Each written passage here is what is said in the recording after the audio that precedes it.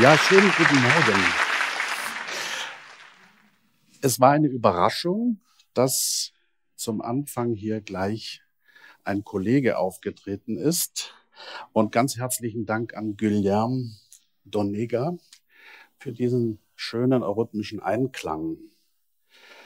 Auch eine Überraschung war es, dass Kirsten Juhl wohl Johannes Brahms gewählt hat. Johannes Brahms, das ist im Grunde eine Figur, wo man sagen kann, er repräsentiert in besonderer Weise ja die Schicksalstragik Deutschlands im 19. Jahrhundert. Das Stück, was wir gehört haben, Intermezzo aus Opus 118, wurde komponiert 1893. Also kurz vor der Philosophie der Freiheit. Andererseits hört man ja an diesem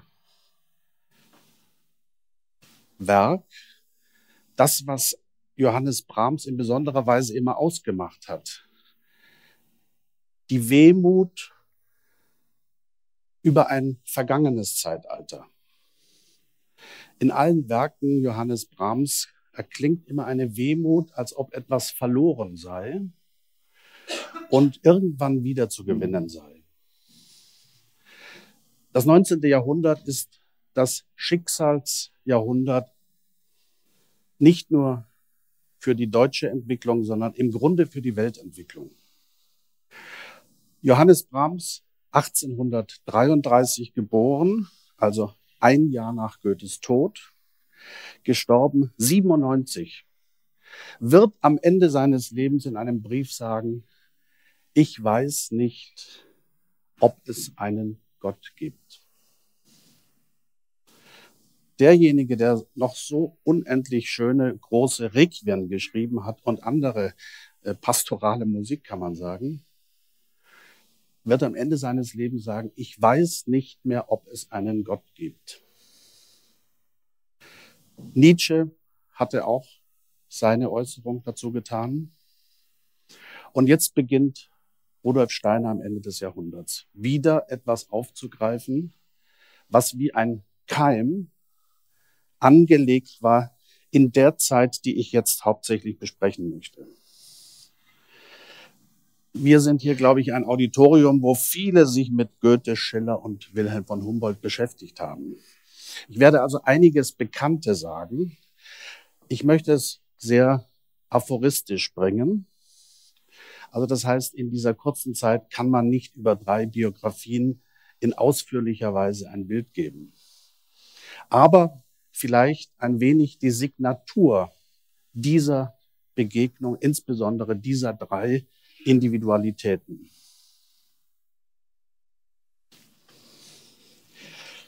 Auch gestern wurde ja schon am Abend von Matthew sehr schön eröffnet, zumindest das Feld geopolitischer Krisen.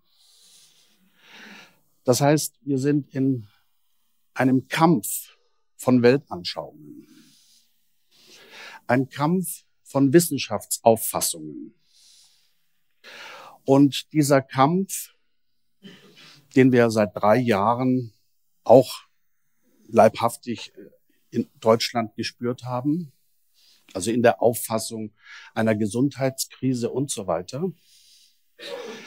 Dieser Kampf hängt sehr intim mit der Problematik dessen zusammen, was Goethe, Schiller, Wilhelm von Humboldt bearbeitet haben.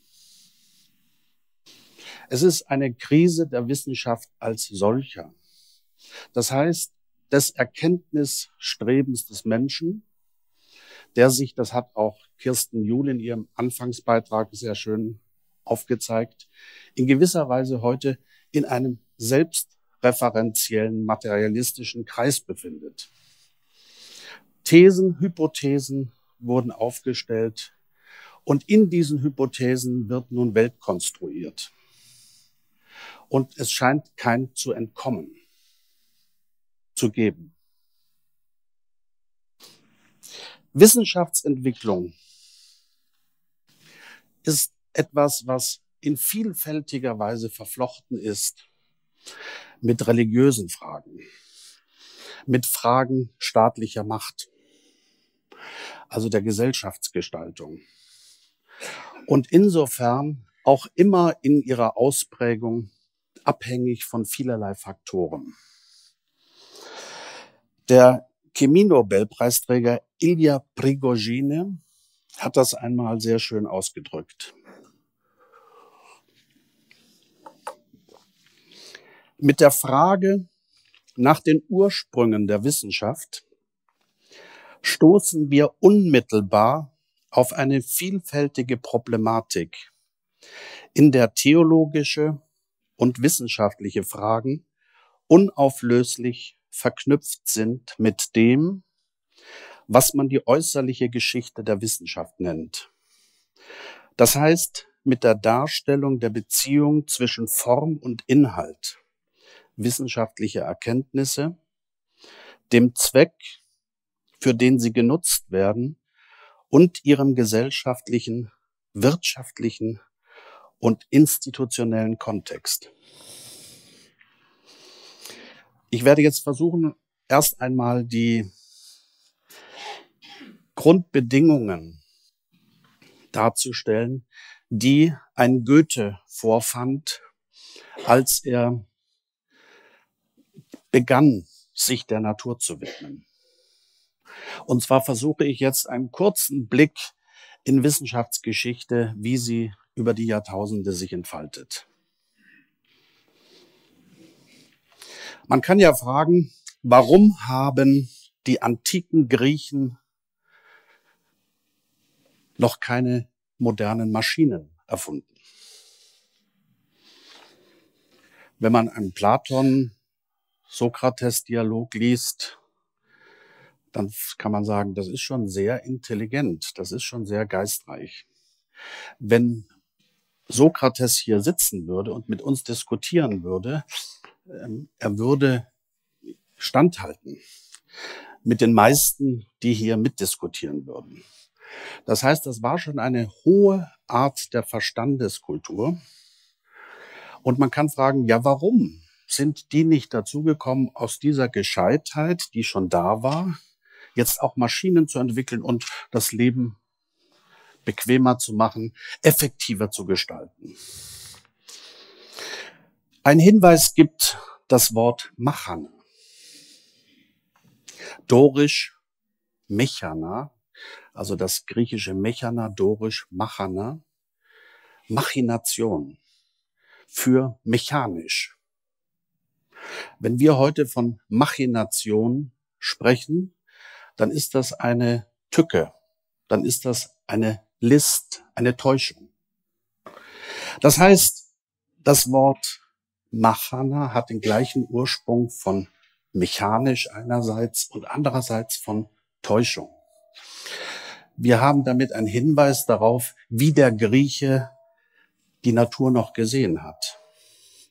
Die Natur war für ihn ein Wesen und jeglicher mechanische Eingriff war für ihn eine Täuschung des Wesens der Ganzheit des Natürlichen.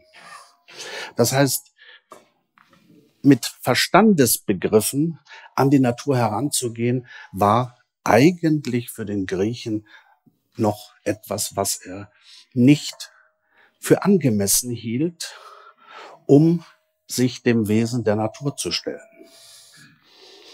Die Natur wurde noch als ein Lebendiges erlebt und das Mechanische war nur ein zurückhaltend zu greifender Akt, wo man in bescheidener Weise versuchte, etwas dienend dem Ganzen beizufügen. Die Entwicklung des Christentums hat dann ja erst einmal sehr stark platonisch geprägt, einen Dualismus aufgebaut zwischen Himmel und Erde. Und Erde war zugleich das Feld, wo der Mensch von allen Seiten, von Teufeln und äh, Satan, ähm, ja, angegriffen wurde, verführt wurde. Der Himmel aber war dem Menschen unmittelbar verschlossen. Er war durch den Sündenfall herausgefallen und es war eine eherne Schranke zwischen Erde und Himmel. Aber das ist noch ein Nachklang der ganz frühen, auch indischen Kulturen, dass die Heimat des Menschen eigentlich jenseits der irdischen Verhältnisse war. Und das Mittelalter hat ja dieses Weltbild erst einmal weitgehend praktiziert. Kirsten Juhl hat schon angedeutet, wie es durchaus auch andere Strömungen gab. Aber in gewisser Weise war eine Schranke gegeben und der Papst als Stellvertreter Gottes war derjenige, der alleinig den Zugang hatte. Das ist für die Wissenschaftsentwicklung von hoher Bedeutung. Die Strömung, die sich in gewisser Weise als eine sehr stille Strömung unter der mächtigen petrinischen römisch-katholischen Strömung auslebte und in vielen Wissenschaftspersönlichkeiten immer wieder in Erscheinung trat. Die Persönlichkeit des Paulus darf hier auch noch einmal kurz angeschaut werden. Paulus hat ja im Gegensatz zu Petrus den Jesus Christus nie leibhaftig erlebt, sondern er war im Gegenteil. Er war ein Verfolger, ein Verfolger der Christen, wie sie in Gemeinschaften sich schon versammelten. Und dieser Verfolger ist auf einem Verfolgungszug nach Damaskus und hat vor Damaskus dieses Erlebnis. Als individueller Mensch von einer Verfolgungsideologie geradezu erfüllt. Das heißt, er hat Soldaten dabei. Er hat im Grunde den Auftrag, Christen gefangen zu nehmen und erlebt das Damaskus-Erlebnis. Vor Damaskus stürzt er vom Pferd und wird ein, eine Schau haben, wird eine unmittelbare Erfahrung haben einer geistigen Wirklichkeit. Seitdem wird er derjenige sein, der denkend sich bemüht, Menschen auf den Weg zu bringen. Er ist derjenige, der auch das Christentum erweitert aus dem nur jüdischen Rahmen nach ganz Europa. Paulus war jüdischer Abstammung mit römischem Bürgerrecht und griechischer Muttersprache. Also er war schon ein Mensch, der das ganze römische Reich in einer lebendigen Weise verkörperte. Und diese Strömung, die nun von Paulus ausgeht und wie eine Unterströmung unter dem institutionell mächtigen römisch-katholischen Christentum durch die Jahrhunderte geht, diese Unterströmung wird immer deutlicher in Erscheinung treten. Es wurde schon ein wenig äh, auf die Abschaffung des Geistes hingewiesen. Diese Abschaffung des Geistes ist ja, steht ja im Zusammenhang mit dieser Grundproblematik der alten und der beginnenden neuen Welt.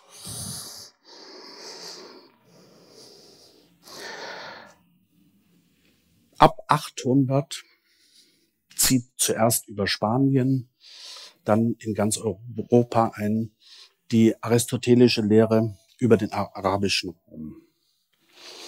Und um 1200 wird Aristoteles insbesondere dann durch Thomas von Aquin übersetzt und die Frage erscheint neu, auf neuem Niveau. Was kann der menschliche Geist erfassen?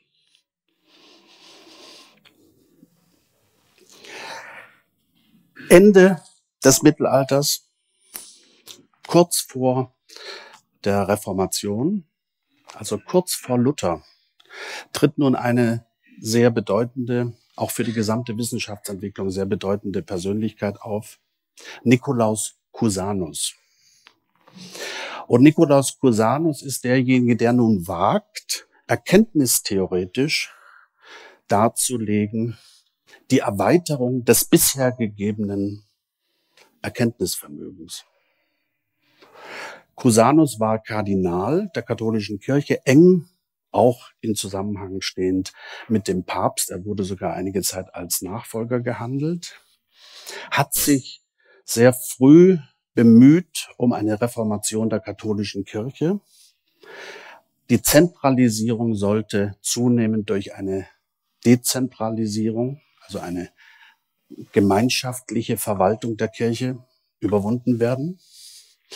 Zum anderen war er auch hochgradig wissenschaftlich interessiert.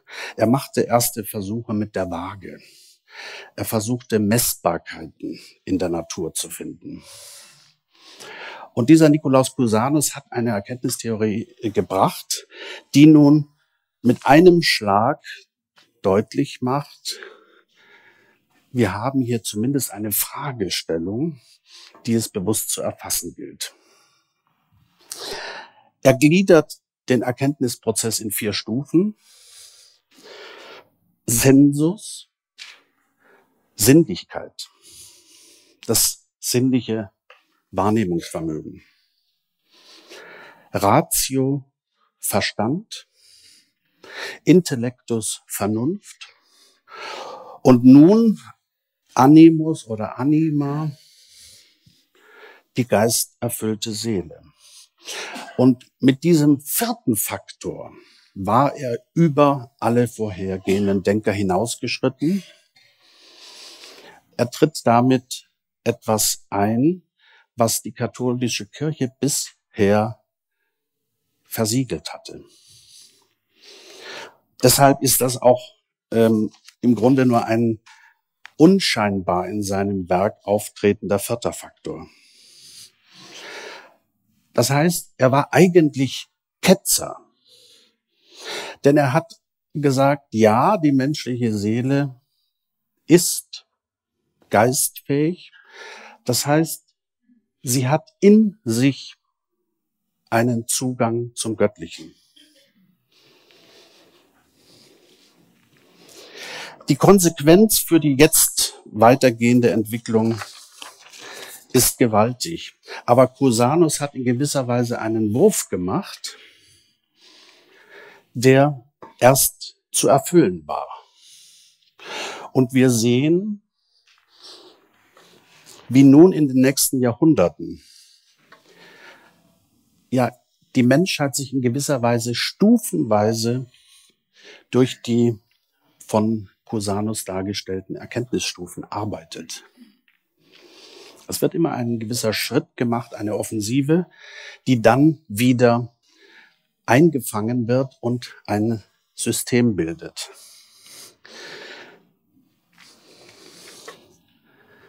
Der Verstand, der sich auf die sinnliche Erfahrung wendet. Das ist im Grunde der erste Akt alles Naturforschens dass ich versuche, Begriffe an Erfahrungen des Natürlichen zu gewinnen. Interessanterweise ist der Start dieser Art von Wissenschaft, wie sie nun Kreise zieht, England. Zu England muss man ja wissen, da gab es einen Heinrich den Achten. Und Heinrich der Achte war derjenige, der viele Frauen hatte. Einige hat er wohl umgebracht. Bei einer hat er sich gedacht, umbringen will ich sie jetzt nicht, aber vielleicht äh, könnten wir jetzt mal mit dem Papst ein Gespräch führen, dass er zumindest eine Scheidung genehmigt. Der Papst sagte ab, und das ist der Anfang der anglikanischen Kirche.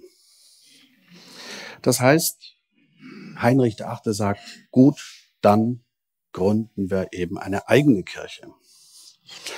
Diese Signatur, dass nun England sich entkoppelt von der katholischen Kirche, diese Signatur ist hochbedeutend. Denn das Christentum ist nun erst einmal in gewisser Weise Staatskirche. Es ist Kirche eines staatlichen, des Oberhauptes nämlich Heinrich VIII. Nicht mehr der Papst. Das heißt, Macht und Geistesleben sind in einer ungeheuren Weise verquickt. Aber ein Staat hat auch zu sorgen um wirtschaftliche Belange. Das heißt, wie wird England prosperierend? Wie kann die englische Entwicklung jetzt wirklich einen Aufbau erfahren? Unter Elisabeth wird dann 1588 die spanische Armada vernichtend geschlagen. Und in dieser Zeit beginnt ein sogenannter erster großer Naturwissenschaftler, Francis Bacon, seine, man kann sagen, Theorie zu entfalten. Denn ein Forscher in dem Sinne war er erst einmal nicht. Aber Francis Bacon ist einer, der nun im Zusammenhang mit diesem Staatsgeistesleben versucht, Forschung auf den Weg zu bringen, die dem Leben in diesem Lande nützt. Also eine sehr starke Nutzenorientierung von Anfang an. Er erkennt, dass viele der wissenschaftlichen Weltbilder, wie sie bereits gegeben waren, ja zu ideologisch, zu ideell angelegt waren. Kirche will er nicht mehr als Obrigkeit des Geisteslebens anerkennen. Er sagt, wir brauchen einen Weg in das Wesen der Natur, weil die Sinne des Menschen immer eine subjektive Verfälschung bringen. Er begründet die experimentelle Naturwissenschaft.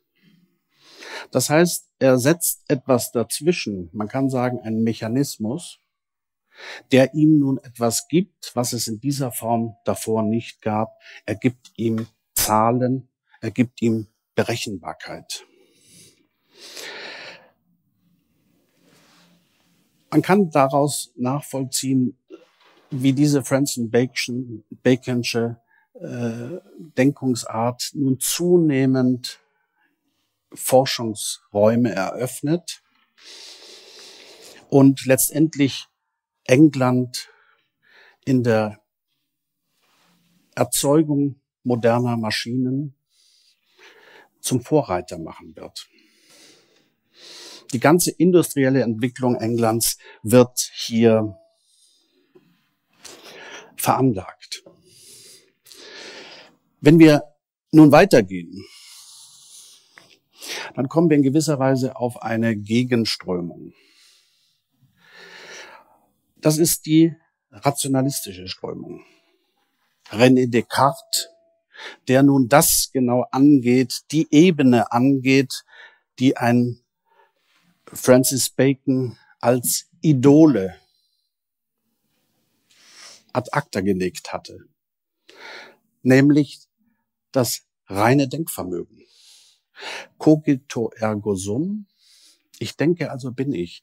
Die neue Gewissheit, die nun sich anschickt, ein eigenes Weltbild hervorzubringen. Der Rationalismus, der dann insbesondere in Frankreich, Frankreich ist noch katholisch und Frankreich bildet insbesondere ja das rationale Denken in dieser Zeit in besonderer Weise aus. Und man kann sagen, es führt zu einer Denkungsart, die letztendlich hineinführt in neue Staatskonzeptionen. In Deutschland, also nach Descartes, Leipzig, ist es insbesondere Christian Wolff, der heute kaum mehr bekannt ist, der aber für Friedrich den Großen noch die Zentralgestalt war. Es wird dann, es wird dann Immanuel Kant, ein Gegner des Rationalismus wiederum sein, der wiederum an den Empiristen anknüpft, insbesondere an David Hume und die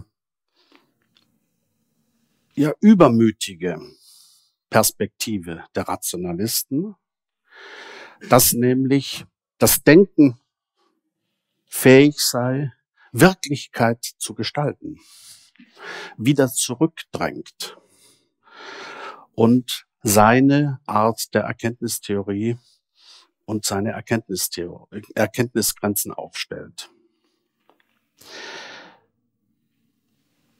Weniger groß hat sich erst einmal entfaltet, das, was man nennen kann, den objektiven Idealismus. Das heißt, das, was die vierte Stufe ausmacht bei Cusanus, dass der Mensch über sein Vernunftvermögen hinaus, über die Abstraktion hinaus wieder in die geistige Wirklichkeit der Welt eintritt. In besonderer Weise hat dieses erst einmal gar nicht die Wissenschaft ausgebildet, sondern man kann sagen, es ist in Erscheinung getreten als ein künstlerischer Impuls. Das goldene Zeitalter der Niederlande hat eine Geistigkeit ermöglicht, die den individuellen Menschen in neuer Art wirksam werden ließ. Die Niederlande hatte in langen Kämpfen sich von der spanischen Vorherrschaft getrennt und war nun nicht einfach nur protestantisch geworden, sondern die Niederlande hatte Religionsfreiheit. jüdische Strömungen, protestantische, katholische, verschiedenste Strömungen trafen sich in den Niederlanden und entfalteten ein ungeheuer reges Geistesleben. Wenn man sich anschaut, wie in Erscheinung trat dieser Prozess, dann kann man vielleicht diese Schützenbilder als Beispiel nehmen. Oben haben wir das noch katholisch beherrschte die noch katholisch beherrschten Niederlande. Man sieht eine Zunftgemeinschaft, die zusammensteht in äußerlicher Ordnung. Das heißt, man hat auch noch gemeinsame Zeichen, die einem verliehen werden. Das zweite Bild ist schon aus der goldenen Epoche. Das ist aus der Zeit, wo dann ein anderer, der größte dieser Zeit, wirksam wird. Also wir haben hier schon eine demokratisch selbstbewusste Gesellschaft. Spinoza zum Beispiel ist schon in dieser Zeit tätig. Das heißt, es ist Rationalismus, es ist Empirismus, es sind viele Strömungen tätig.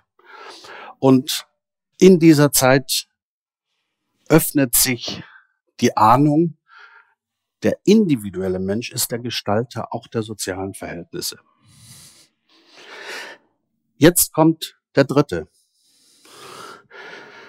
Rembrandt van Rijn, der nun mit seiner heute sogenannten Nachtwache ein Bild schafft, wo er eine komplett andere Ordnung darstellt. Für Rembrandts Karriere war das der Ruin. Er hat mit diesem Bild es geschafft, nie wieder einen bürgerlichen Auftrag zu bekommen. Die vorausgezahlten Gelder für dieses Bild musste er komplett zurückzahlen. Das heißt, er war danach bankrott. Denn was macht er? Das ist nicht mehr gleichberechtigt. Jeder hat 100 Gulden gezahlt und jeder darf nun gleich groß und gleich wichtig in Erscheinung treten. Nein, auf einmal bekommt die Sache einen seltsamen inneren Zusammenhang.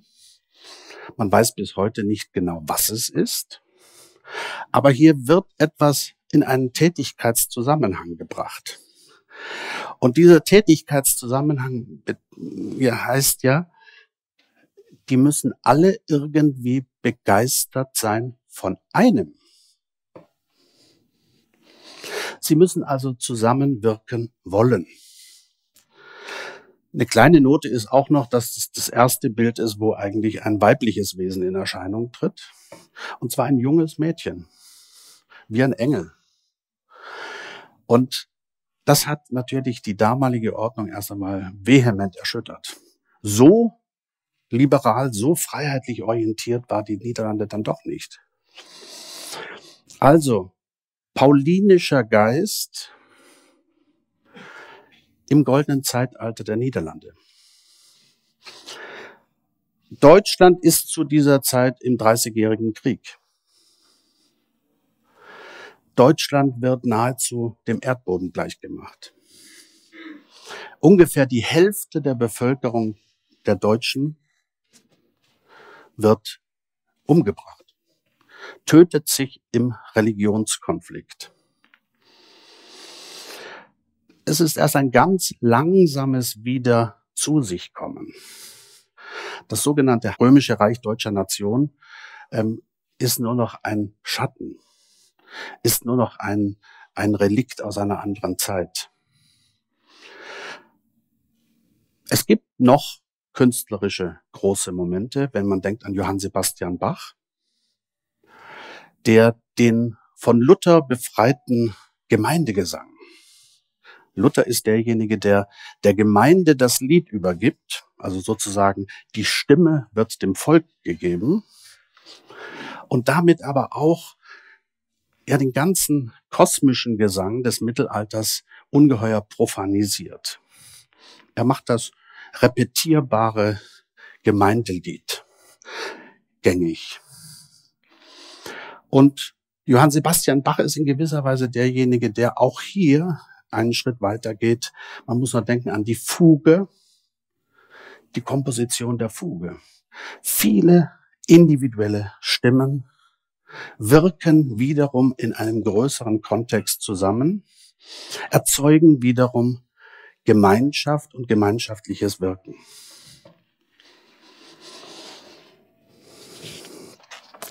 Deutschland zur Zeit Goethes ist in gewisser Weise in den zwei Strömungen befangen. Einerseits der in Deutschland sehr mächtig wirkende Rationalismus. Ich habe Christian Wolf erwähnt. Das heißt, eine sehr ja, mutig, übermütige Gesinnung im Adel in der höheren Bürgerschaft, die nun davon ausgehen, wir werden auch unsere Bürger zu guten Menschen erziehen.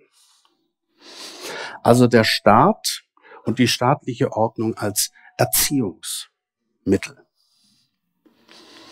Demgegenüber tritt bremsend Immanuel Kant auf, der ursprünglich auch ein Anhänger Wolfs war, aber nun David Hume kennenlernt und den ganzen Relativismus des englischen Empirismus. Er wird nun sagen, nein, erstens, die Wahrnehmung ist nicht gesichert. Zweitens, das, was ihr Geist nennt, ist im Grunde nur eine Vorstellungsabstraktion. Und in den eigentlichen Geist, in die eigentlich geistige Sphäre, werdet ihr nicht kommen können. Das ist eigentlich äh, die ambivalente Situation, in der Deutschland sich befindet, als ein Johann Wolfgang von Goethe auftritt.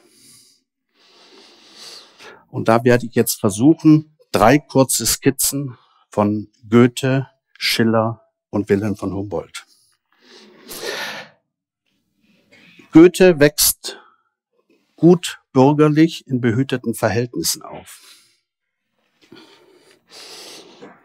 Sein Vater verwaltet ein Erbe. Das heißt, er muss nicht mehr arbeiten, er hat nur noch Ehrenämter und wird seinem Sohn alles ermöglichen, was eine umfassende Bildung sein kann. Das heißt, Goethe war nie in der Schule, aber er hat von der Antike erfahren. Er hat viele großartige Spaziergänge mit kundigen Menschen erlebt. Er hat wohl situiert in einem Haus, wo es nie finanzielle Probleme gab, aufwachsen können mit einer Schwester und einer Mutter, die wohl ein, eine Frohnatur und eine poetische Ader hatte. In diesem Milieu wächst dieser Goethe auf. Und nun, um das etwas zu komprimieren, weiß man, in welcher Weise Goethe nun ein ungeheuer produktives Leben entfaltete. Aber mir ist jetzt auch noch mal in der Vorbereitung noch mal neu deutlich geworden. Man kann Goethe als Ereignis, Goethe als Phänomen nicht verstehen, wenn man eine ganz besondere Situation, Lebenssituation nicht in, in ihrer vollen äh, Dramatik und in ihrer vollen Größe versteht. Als Goethe in Leipzig Student ist, mit 19, wird er nach einer ersten übermütigen Phase krank. Er kommt nach Frankfurt zurück und in Frankfurt erleidet er einen Blutsturz. Das heißt, er wirft Blut aus und ist bewusstlos und er ist nahezu aufgegeben. Welche genauen Umstände es waren, dass er wieder geheilt wurde, will ich jetzt gar nicht weiter vertiefen. Das Entscheidende ist, nach dieser Krankheit erlebt er selbst an sich, was ist los? Ich bin verändert. Und alle Menschen in seinem Umraum erleben auf einmal einen Menschen, der nicht mehr der Goethe ist, wie er davor war. Aber entscheidend für Goethe selbst, dass er selbst erst einmal gar nicht versteht, was ist passiert. Der Götz wird in einem Schwung geschrieben und rausgestellt, Götz von Berlichingen, dann die Leiden des jungen Wärters. Dadurch wird er, gerät er in die Aufmerksamkeit des Fürsten von Weimar und wird eingeladen nach Weimar. Bevor er nach Weimar kommt, gibt es noch eine kleine interessante Situation. Er schreibt eine, ein kleines Pamphlet, Götter, Helden und Wieland.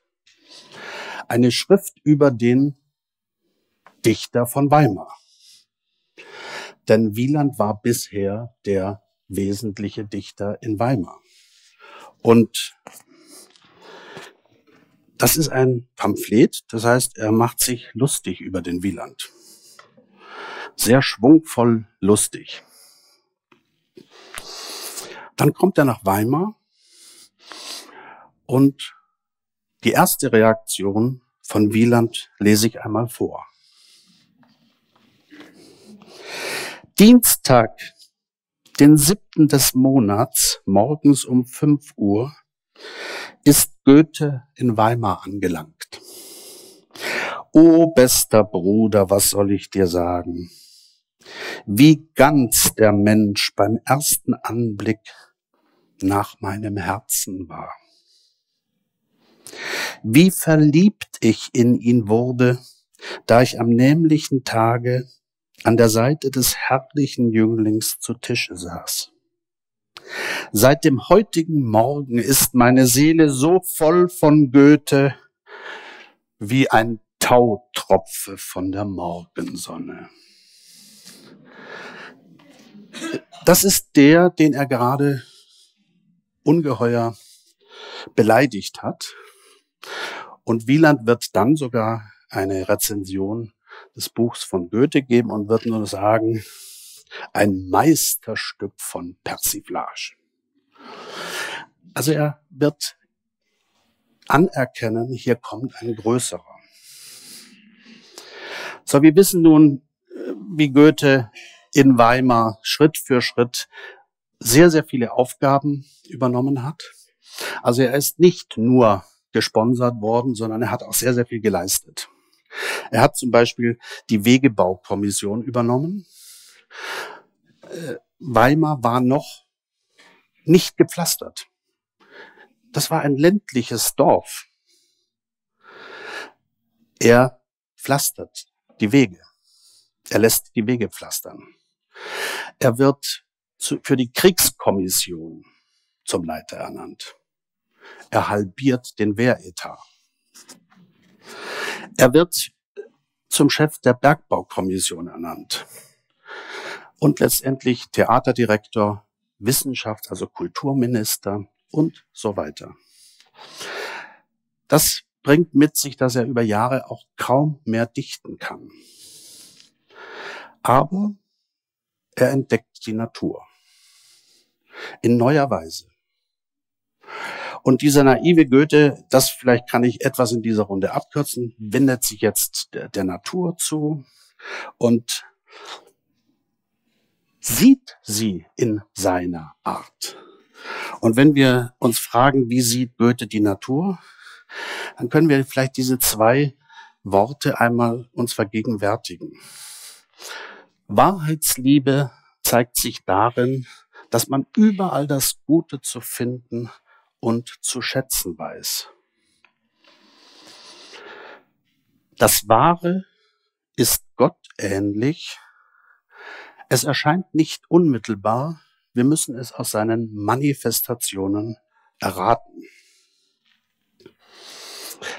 Da spricht eine große Gewissheit einer geistigen Weltwirklichkeit.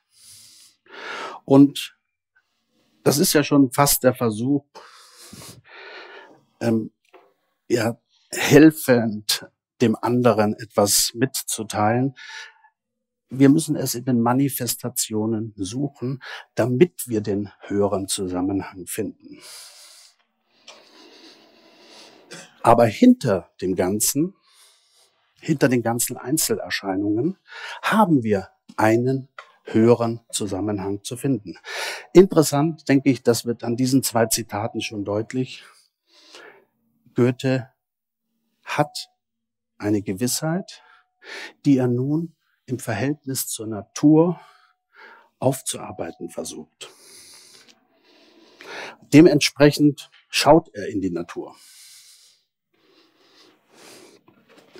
Das ist die Wartburg. Und man kann an diesem Bild sehen, also einer der Zeichnungen Goethes, Tuschezeichnung Goethes, wie er Natur anschaut. Ich finde es ein ungeheuer sprechendes Bild, gerade wenn man vergleicht das Weben und Leben des Waldes im Verhältnis zur konstruierten Wartburg. Also in der ganzen Natur haben wir einmal zwei kleine Striche. Ansonsten haben wir ein Leben, eine Vielfalt an Formen, ein Metamorphosen geschehen. Goethe wird ja nun, nachdem er so intensiv in Weimar tätig wurde, ausreißen und nach Italien fahren.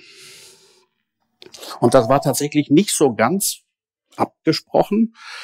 So ein bisschen hat er es dem, äh, äh, dem August angedeutet, aber ähm, er hat im Grunde wenig ja, vorgeplant, sondern er ist wirklich los und hat dann Forderungen gestellt aufgrund dessen, was er bereits geleistet hatte in Weimar.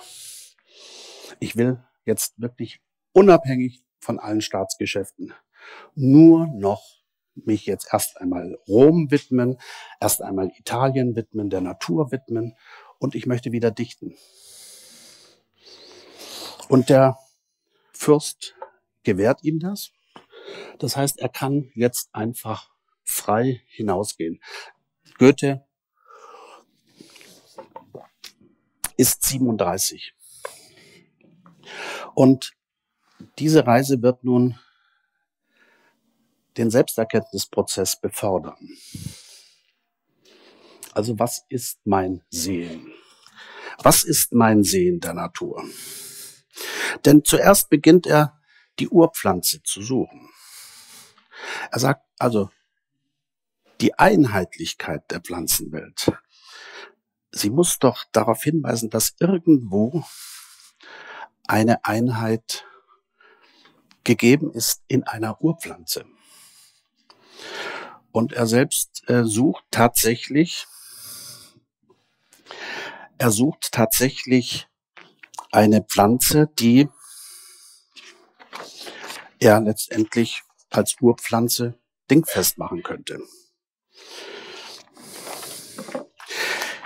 Und er streift durch die italienische Landschaft, sieht die veränderten Erscheinungen der Pflanzen, von Pflanzen, die er aus Deutschland kennt, in anderen Proportionen und sagt sich dann, im Angesicht so vielerlei neuen und erneuten Gebildes fiel mir die alte Grille wieder ein, ob ich nicht unter dieser Schar die Urpflanze entdecken könnte. Eine solche muss es denn doch geben. Woran würde ich sonst erkennen, dass dieses oder jenes Gebilde eine Pflanze sei, wenn sie nicht alle nach einem Muster gebildet wären? Also er sucht tatsächlich nach einer physischen Urpflanze. Und ich denke, das muss man äh, verstehen, was hier vorliegt. Also er hat eine Ahnung, geht aber mit einem Verstandesdenken vor. Das heißt, Goethes Denken ist seiner eigenen Ahnung noch nicht gewachsen.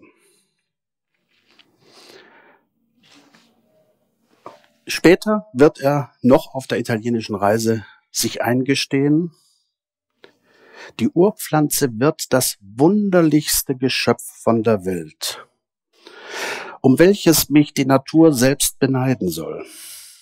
Es war mir nämlich aufgegangen, dass in den, demjenigen Organ der Pflanze, welches wir als Blatt gewöhnlich auszusprechen pflegen, der wahre Proteus verborgen liege, der sich in allen Gestaltungen verstecken und offenbaren könne. Vorwärts und rückwärts ist die Pflanze immer nur Blatt, mit dem künftigen Keime so unzertrennlich vereint, dass man eins ohne das andere nicht denken darf. So, ich muss jetzt ein bisschen schneller gehen, damit wir hier die Zeit einhalten. Er kommt dann dazu, dass er letztendlich die Urpflanze als ein Geschehen beschreibt, als ein Metamorphosegeschehen, das Blatt in seiner Metamorphose im, im zeitlichen Pflanzenentwicklungsvorgang. Also der Atmungsvorgang von Ausdehnung, Zusammenziehung, den er dreimal beschreibt, als das urtypische des Pflanzenwachstums. Der Zeit bedingt halber gehen wir einmal weiter. Nun kommt Friedrich Schiller. Und Friedrich Schiller, das gerade auch unter Anthroposophen wird er ja häufig als der, ja, das war der Kantianer. Der hat ja den, den lebensvollen Goethe nicht so richtig verstanden. Ähm, eigentlich braucht man den kaum.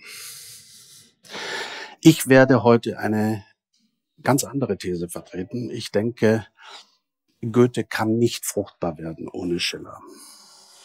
Das ganze goethische Werk. Er ist tatsächlich in polaren Lebensverhältnissen aufgewachsen. Äh, Goethe wird ja selbst sagen, wir waren Geistesantipoden. Schiller wächst im ärmlichen Marbach auf, in ganz dörflichen Verhältnissen. Der Vater ist mehr oder weniger autodidaktischer Medikus beim Militär, häufig abwesend. Und der junge Schiller wächst in der kleinen Dorfgemeinschaft auf, wo ein Pfarrer Moser die Hauptgestalt ist. Und dieser Pfarrer Moser ist auch sein erstes großes Vorbild. Er stellt sich auf einen Stuhl und predigt schon als Siebenjähriger.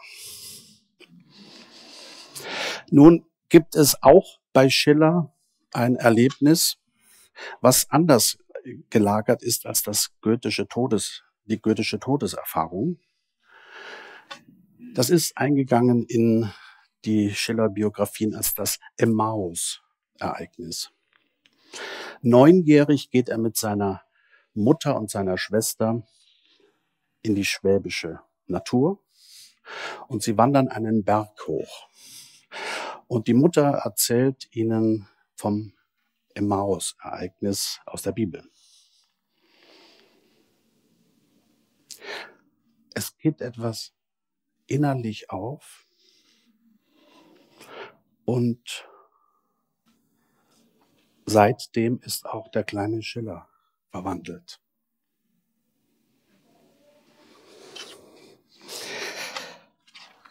Er will Pfarrer werden. Und als Pfarrer denkt er, kann er das, was er erlebt hat, das, was er nun als innerliches Erlebnis, als Gewissheit hat, in die Welt tragen. Es wird aber bekannt, da ist ein ganz begabter junger Mensch. Mittlerweile sind sie in Ludwigsburg umgezogen. Da ist ein ganz begabter, sehr intelligenter junger Mann mit 13, 14 Jahren. Und der Herzog ist dabei, eine neue Akademie zu gründen, eine Pflanzschule für sein zukünftiges Personal. Natürlich will er die Begabtesten seines Landes und holt den Schiller dazu. Zweimal lehnen der Friedrich und sein Vater ab, weil sie wissen, der hat schon seinen Weg. Und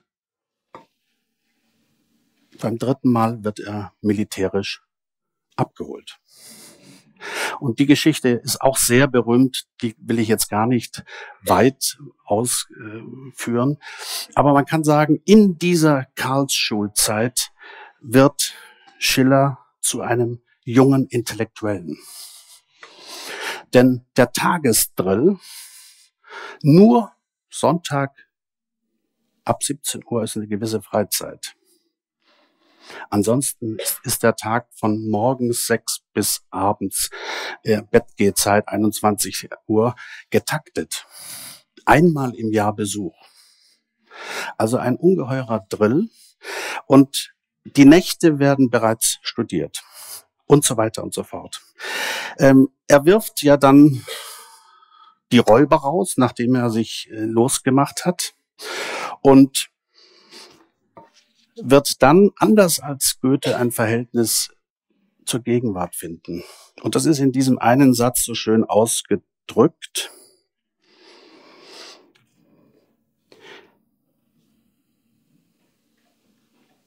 Ich möchte fernerhin an keinen Thron mehr appellieren als an die menschliche Seele.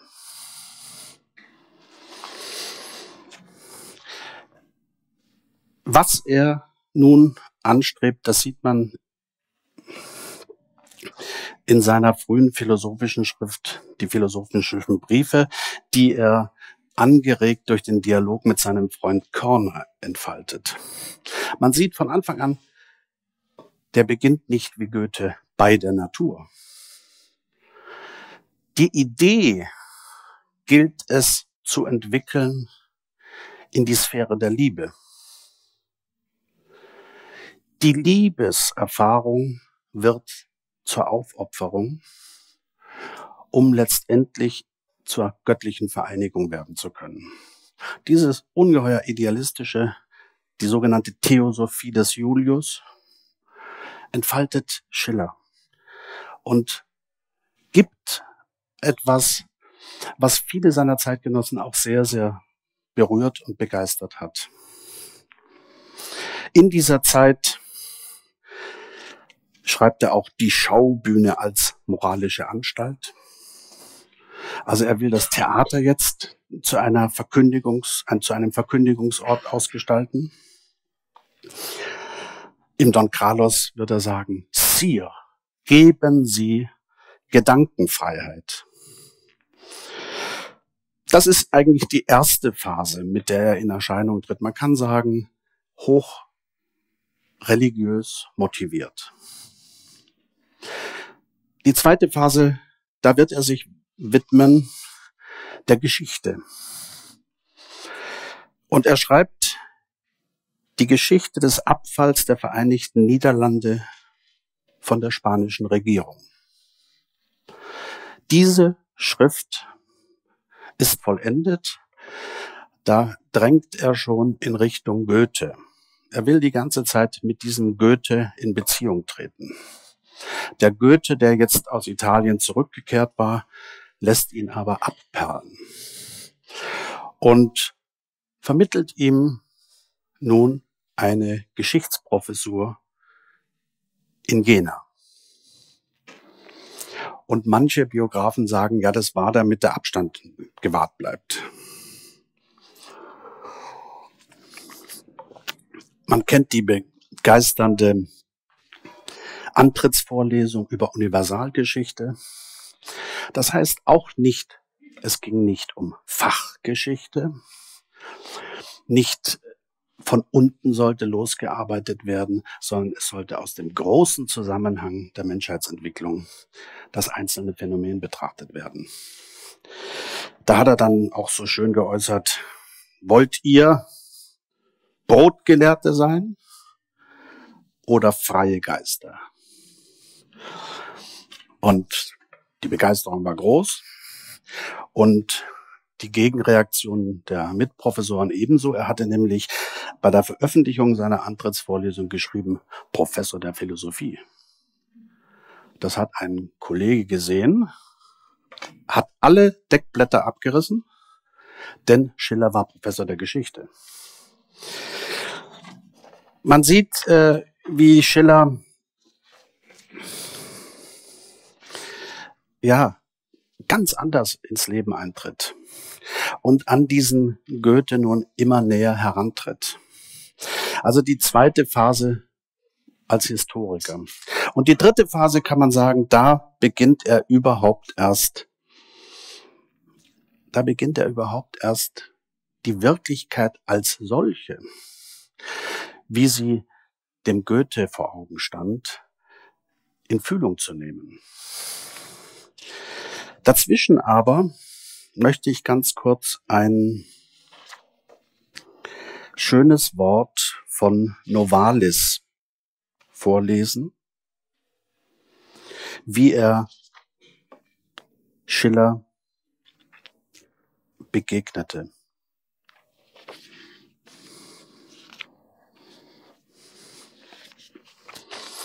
Novalis war sehr jung, ich glaube 20, als er Schiller das erste Mal begegnete und er schildert diese Schilderung. Sein Blick warf mich nieder in den Staub und richtete mich wieder auf. Das uneingeschränkteste Zutrauen schenkte ich ihm in den ersten Minuten Und nie ahnete mir nur, dass meine Schenkung zu übereilt gewesen sein. Hätt er nie mit mir gesprochen, nie Teil an mir genommen, mich nie bemerkt, mein Herz wäre ihm unveränderlich geblieben. Denn ich erkannte in ihm den höheren Genius, der über Jahrhunderte waltet, und schmiegte mich willig unter den Befehl des Schicksals.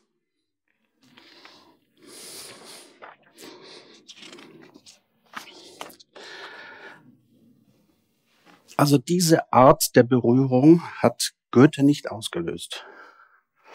Es ist eine ganz andere Art der Berührung.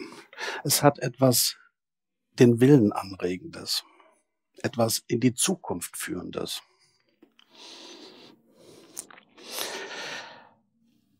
Und in der Zeit der französischen Revolution begann Schiller sich über die Frage zu verständigen, wie kann denn Entwicklung des Menschen gefördert werden?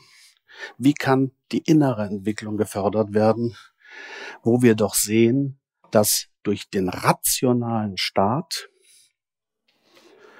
der innere Mensch nicht angeregt werden kann in seinen Briefen über die ästhetische Erziehung des Menschen wird er jetzt erst einmal die Zeitphänomene versuchen zusammenzuschauen. Die Deprivation der bürgerlichen Schicht, also die Verkommenheit gerade der höheren Stände. Und auf der anderen Seite die Orientierungslosigkeit an ihre Begierden gebundene einfache Bevölkerung. Und wie hier keine Vermittlung zu sehen ist. Die Barbaren regieren und die Wilden wollen Revolution machen. Und dieses Grundproblem führt ihn zu dem, was er nennt, den ästhetischen Staat. Ich mache es jetzt etwas schneller.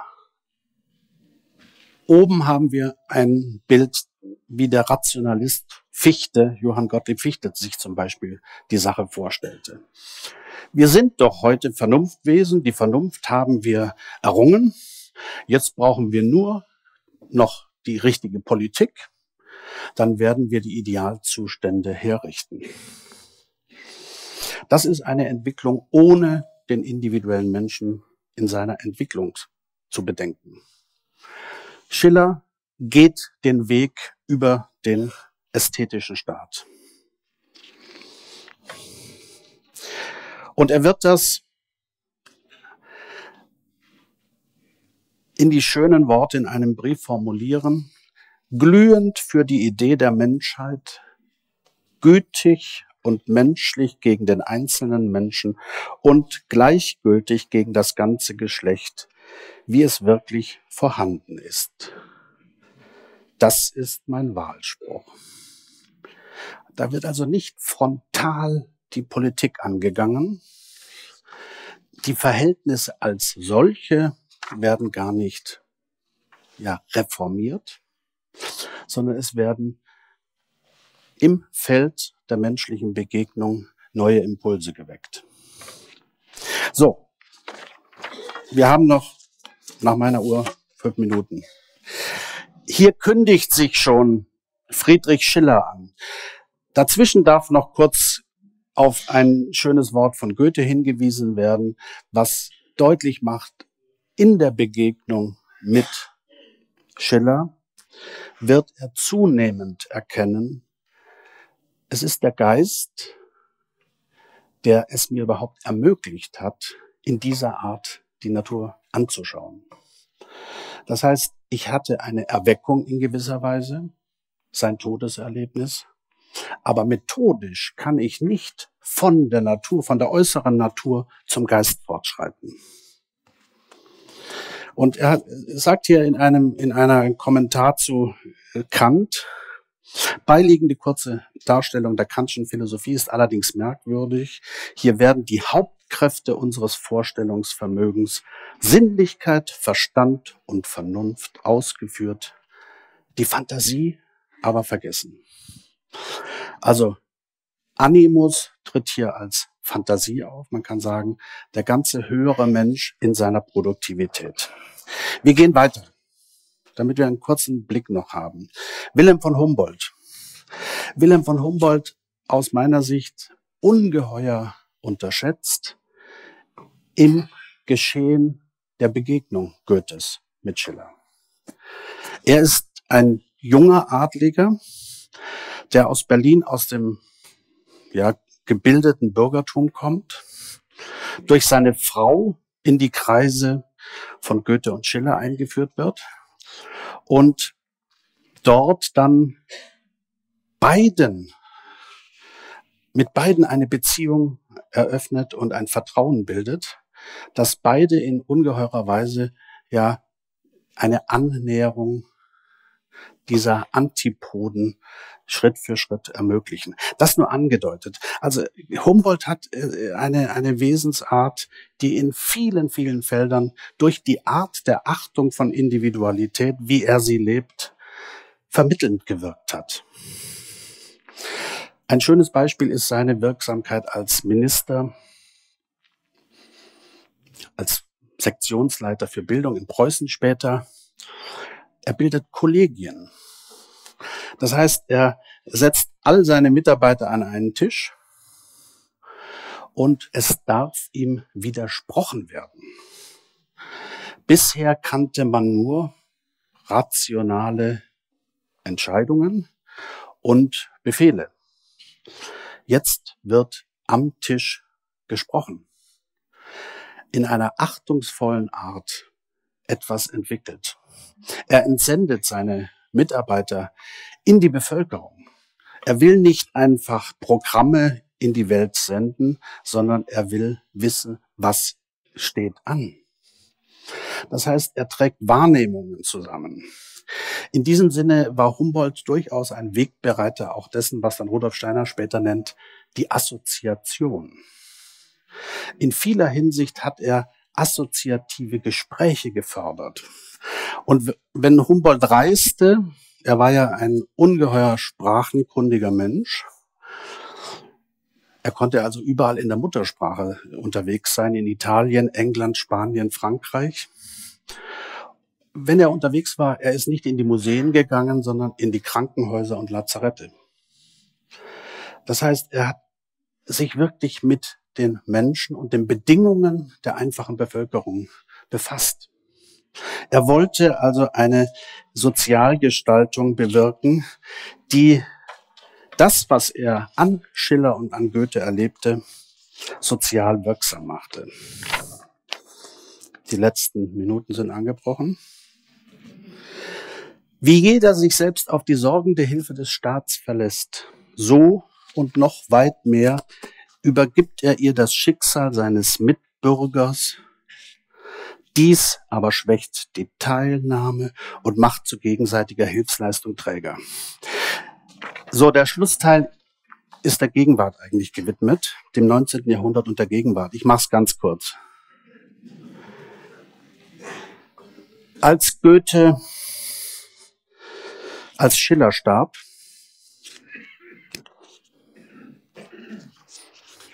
Als Schiller starb, formuliert es Humboldt so, dass er sagt, solange er, lebt, er lebte, war seine Lehre für uns, seine Freunde, das eigentlich Geltende. Jetzt, da er dahin ist, haben die anderen die Übermacht.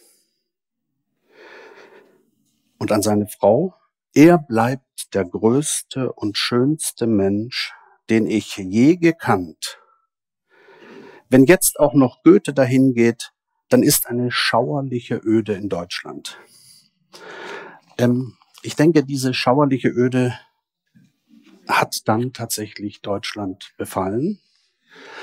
Ähm, der Positivismus zieht seinen Siegeszug und Sozial bedeutet das, wir haben keine Individualität in der Sozialgestaltung, sondern wir haben einen unverwandelten Empirismus einerseits, in dem, was aus dem englischen Empirismus in den Wirtschaftsliberalismus eingewirkt hatte. Also Adam Smith, der sagt, nütze dir selbst und du nützt der Gemeinschaft. Wir hatten gestern schon von der vermeintlichen unsichtbaren Hand des Marktes gesprochen. Das heißt, die Grenze der Unerkennbarkeit im Wirtschaftlichen. Und auf der anderen Seite etwas, was auch zu wenig bisher aufgearbeitet wurde, der deutsche Sozialstaat als Vorbild weltweit. Rudolf Steiner sagt, durch Fichte wurde eigentlich der Bolschewismus in die Welt gebracht. Das ist die Kurzfassung. Fichte ist mit seinem geschlossenen Handelsstaat so weit gegangen, dass er einen Vernunftentwurf gemacht hat.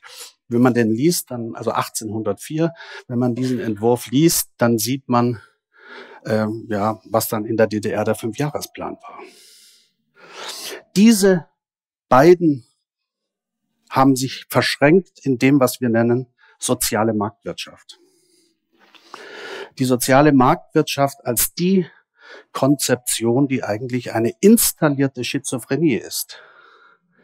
Auf der einen Seite der Egoismus als Antriebskraft des Wirtschaftslebens, auf der anderen Seite der Staat, der vermeintlich das Beste zu wissen scheint. Ja, wer ist denn das?